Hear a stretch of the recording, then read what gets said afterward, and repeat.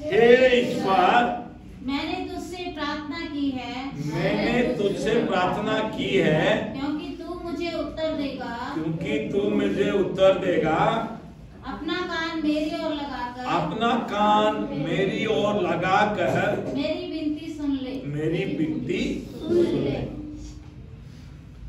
जो आदमी संकट में पड़ा है वो चाहता है मैं किसका पास जाऊँ? मैं किसका पास? जाऊँ। कौन मेरे को मदद कर सकता है? ठीक है। परमेश्वर हमको मदद करने के लिए सीधा मदद नहीं करेंगे लेकिन परमेश्वर कई ज़रिया ढूंढते हैं। कई ज़रिया ढूंढते हैं। ये व्यक्ति परेशान है और ये व्यक्ति को कैसे मैं मदद करूँ? अगर हम प्रार्थना में जाते हैं, प्रार्थना करते हैं परमेश्वर को भरोसा करते हैं तो परमेश्वर ने बहुत सारे बाइबल में बहुत सारे वचन लिखा है। मनुष्य से निर्भय करने से बेहतर है परमेश्वर से निर्भय करें। उसका मतलब क्या है? हम परमेश्वर को पहले हमारा परेशानी रखें। हमारा परेशानी, हमारा दुख, दर्द पहले परमेश्वर का सामने रखे। आइदर फैमिली में, व्यक्तिगत रूप में, फैमिली प्रेयर में, कि कहीं पर गवाही में, कि पास्टर का पास जाकर, कि व्यक्तिगत रूप से घर में प्रार्थना करके परमेश्वर को हमें ज़रूर उनका सामने रखे कि हमारा परेशानी क्या है। परमेश्वर डिसाइड करेगा, तय करेगा कि आपको कौन सा व्यक्ति की ज़रिया से आपको मदद मिल सकती ज़रूर व्यक्ति को बातें करेगा, सेट करेगा, और आपका मन में ज़रूर वो बातें करेगा कि इस व्यक्ति का पास तू जा, वो तेरे को मदद कर सकते, नहीं बोलेंगे। और वही व्यक्ति का पास आप जाओगे जो आपका साथ अच्छा संबंध है। अच्छा संबंध है, आपका दर्द दर्द को जानता है, आपका दुख को जानता है, और आपका साथ अच्छा तालमेल है, वही व्यक्ति का पास जाओगे, क्योंकि दूसरा व्यक्ति के पास जाने का कोई चारा चारा नहीं तो वही व्यक्ति का पास जाएगा और आप ज़रूर बोलेंगे, वो भी प्रभु का व्यक्ति है, आप भी प्रभु का व्यक्ति है कि वो आपको जानता है और आप उनको बेहतर जानते हैं। दूनी का पास जाओगे, वो आपका परेशानी हाल करेगा। अगर खुद हाल नहीं करने का असमर्थ है, लेकिन वो आपके बारे में चिंता करेगा और दूसरा लोग को भी बोल सकता है कि मेरा एक जानकारी व्यक्ति है, वो बहुत अच्छे हैं। और किसी कारण की वजह से उनको ये परेशानी है, कुछ मदद हो सके। वो भी आपका परेशानी में शामिल हो जाएगा, वो भी दूसरे को काम करेगा। अगर आपकी तरफ़ से अगर खुद अपना कर सकता है तो कर सकता है। अगर खुद आपने कर नहीं पाएगा, क्योंकि आपका शुभ चिंतन है तो इसीलिए दूसरा को भी बताएगा। इसीलिए परमेश्वर बता रहे हैं कि हमें जब संसार में रहते हैं, हमारा सभी का साथ अच्छा तालमेल होने का ज़रूरत है। सभी का साथ हमारा अच्छा तालमेल होने की ज़रूरत है। कभी किसी का ज़रूरत पड़ जाएगा। कभी किसी का ज़रूरत पड़ जाएगा। तो सभी का साथ हमारा संबंध आज ईसाई लोग, आज प्रभु का लोग, सभी का साथ हमारा संबंध अच्छा रखना चाहिए। तब सभी हमको पसंद करेंगे। बाइबल में लिखा है, दुश्मन का साथ भी। वो अगर सोचता है, ये मेरा दुश्मन है, उसका साथ भी, उनका बच्चों का साथ भी, उनका संपत्ति का साथ भी आप संबंध रखिए। वो आपसे बात नहीं करता है। दुश्मन है कि सोचता है कि ऐसे लोग हैं। लेकिन हम उनका परिवार का साथ, बच्चों का साथ, उनका संपत्ति का साथ उनका अच्छा व्यवहार हम करें। तब हमारा एक प्रभु का जो, हमारा अंदर जो गुण है, वो उसको झलक दिखाई देगा। मैं तो दुश्मन करता हूँ, फिर भी मेरा बच्चों का साथ, मेरा परिवार का साथ उसका अच्छा रिश्ता है। वो ज़रूर बताएगा अच्छा रिश्ता है। मेरा बड़े भाई का साथ, मेरा बहन का साथ, मेरा बाप का साथ, मेरा माँ का साथ उसका अच्छा व्यवहार है। और वो मन मन, परिवर्तन करेगा। और बहुत ज़रूरी है इसीलिए ईश्वर हमारा ताकतवान है शक्तिवान है। ईश्वर का पास आप सब हमारा दुख दर्द बताएँ और वो हमारे लिए क्या सुनेगा और हमारा आ, बात को दूसरा तक पहुंचाएगा तो कई तरीका से हमारा प्रॉब्लम सॉल्व हो जाएगा। और एक वचन बोलो कोई बोलेगा उसको चर्चा कर सकते हैं। फोर। बारह भी बोला फोर्थ भी बोला। फोर्थ पढ़ो। मैंने अपने कामों में मानवी चार है ना? हाँ। मानवीय कामों में मैं तेरे मुँह के वचन के द्वारा क्रूरों की सी चाल से अपने आप को अपने को बचाएगा। अपने आप को बचाएगा। क्या समझते हैं अभी? मानवी कामों में मैं तेरी मुँह मुँह के वचन के द्वारा हम्म? क्या है? क्रूरो क्या है? क्रूरो की से चाल से अपने को बचाए रहा।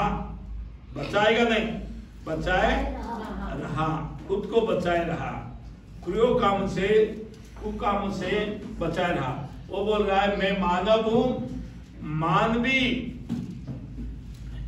मैं मानव हूँ और मानवी कामों में मैं तेरे मुँह के वचन के द्वारा। हम इंसान हैं और इंसान बहुत सारे काम हम करते हैं। उन्हीं कामों में से मेरे, मैं तेरे मुँह के वचन के द्वारा। परमेश्वर का मुँह का वचन कौन सा है? परमेश्वर का आज्ञा है। परमेश्वर का मुँह का वचन क्या है? परमेश्वर का आज्ञा है। परमेश्वर इंसान को बहुत सारे आज्ञा देता है। और परमेश्वर दास भी परमेश्वर का लोगों के लिए आज्ञा बनाते हैं। लेकिन कुछ आज्ञा ऐसे होता है, सीधा परमेश्वर से होता है। जैसे दस आज्ञा है, परमेश्वर से है। और बहुत सारे आज्ञा परमेश्वर सीधा इंसान को दिया है। और यीशु मसीह सीधा कुछ कुछ आज्ञा हमने दिया है। और सबसे यीशु मसीह का बड़ा आज्ञा क्या है पता है?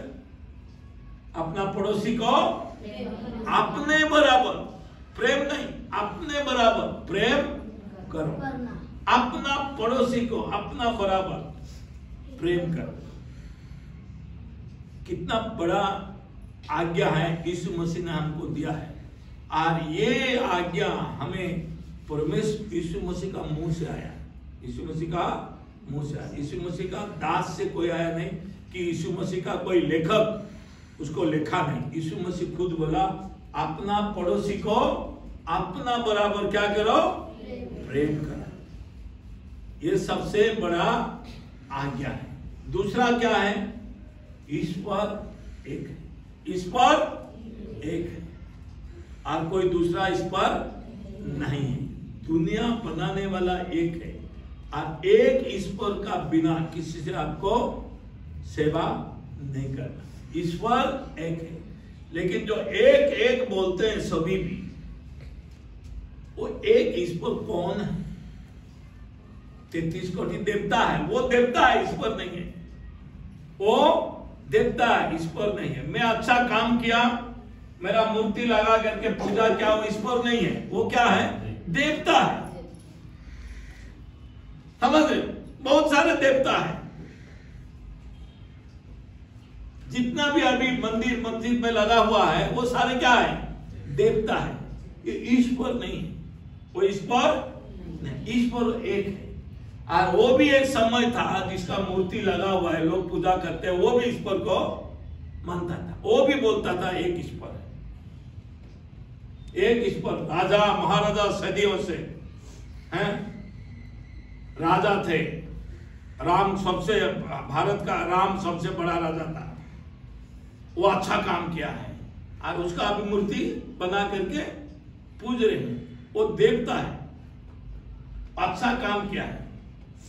अभी फादर राजा मणि को अच्छा मूर्ति बना करके हम फूल करके पूजा करते हैं कि नमस्ते करते हैं। ये ईश्वर नहीं है। कौन है? ईश्वर एक है। ये भी उसको मानते हैं। तो जितना देवा देवती लगा हुआ है, तैतीस कोटि देवता का मूर्ति लगा हुआ है, कहीं पहाड़ में, कहीं समुद्र का किनारे, कहीं नदी का किनारे में, है? आप जितना भी दुआ, प्रार्थना कर रहे हैं, ये कौन है सब? सब देवता है। सब देवता है। उनका प्रार्थना करते हैं। कोई कोई ज़रूरी नहीं है कि नहीं करना है। करे। लेकिन वो जिसको पूजा कर रहे हैं, वो भी एक समय था। किसको मानता था? ईश्वर को। वो भी ईश्वर को मानते। तो ईश्वर एक है, गॉड एक है, सर्वशक्तिमान एक है। कुछ कुछ लोग सीधा उससे पूजा करते। उसको कोई देखा? नहीं। है उसको कोई देखा?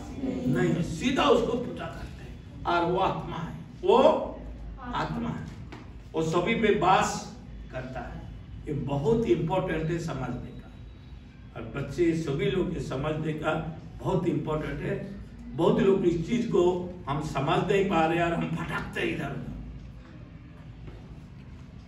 इसने बोला? पंडित बोला? नर देह में नारायण। ईश्वर का दूसरा नाम क्या है? नारायण। ईश्वर का दूसरा नाम? नारायण। नारायण कहाँ पर है? नर का देह में। नर का देह में। बिब्लिकल कॉन्सेप्ट है। बाइबल क्या बताता है? हमको बनाया गया है। आज जीवन डाला गया है। तो नर देह में नारायण। हमारा देह में कौन है? ईश्वर विद्यमान। है ईश्वर विद्यमान है। उसको हमें जानना है। हमें भटकने की ज़रूरत नहीं है। खुद को देखो कि मैं जो इस पर आज्ञा दिया है, जो इस पर आज्ञा दिया है, पड़ोसी को अपने बराबर प्रेम करना। मैं कर रहा हूँ कि नहीं? कर्तव्य कर रहा हूँ कि नहीं? अपना माँ बाप को क्या करो? चौथा आज्ञा क्या है? दसवा आज्ञा से चौथा आज्ञा क्या है? अपना माँ बाप को आदर करो। माँ बाप को आदर करो। ये सीधा परमेश्वर ने बोला, हत्या ना करो, चोरी ना करो। दूसरा संपत्ति को लालच ना करो। सीधा परमेश्वर आज्ञा बोला है ये आज्ञा का हम पालन करें। आप दूसरे को काटते हो, मारते हो, झूठ बोलते हो हाँ? लूटते हो और बोलते हो कि मैं सेवा कर रहा हूँ। और जो कई कई लोगों को मार दिया, और उसको हम पूछा कर, कई लोगों को मार दिया, किसी लोगों को मार दिया, धनुष में मार दिया लोगों को। भगवान का भी, खुदा का भी मारता है किसी को, खुदा प्रेम करता है। क्या बोल रहा है? अपना पड़ोसी को अपना बराबर प्रेम करो। और माती में लिखा है वो अगर शत्रु भी है, आपका कर्तव्य है उसको प्रेम करने का। वो शत्रु भी है, लेकिन वो इंसान है। शत्रु किसी कारण से बना है। उस कारण को ढूंढो, ये शत्रु कैसे बना है? और वो कारण हट जाएगा ना, वो भी आप जैसे इंसान बन जाएगा। इसीलिए हमें इंसान को प्रेम करना और प्राकृतिक को प्रेम करना है, जानवर को भी प्रेम करना है, क्योंकि ईश्वर का बना हुआ चीज़ है। सृष्टि, नदी, नल, पहाड़, पर्वतों को क्या करना? प्रेम करना है। उसको सुरक्षा करना है। पहाड़ को खत्म करके वहाँ पर मंदिर नहीं बनाना है। वहाँ पर गिरजा नहीं बनाना है। वो ऐसे रहने देना है। नदी का किनारे में जाकर कुछ धार्मिक स्थान बनाना है, उसको नदी को बर्बाद करना है। समझ रहे हो? इसीलिए हमें ये सारे पर्यावरण अभी इतना ठंडे क्यों हो? ये सारे किस चीज़ की वजह से? इंसान कहीं ना कहीं गलती क्या है? पहाड़ पर्वत को काट दिया है। जंगल खत्म हो गया है। जंगल खत्म हो गया है।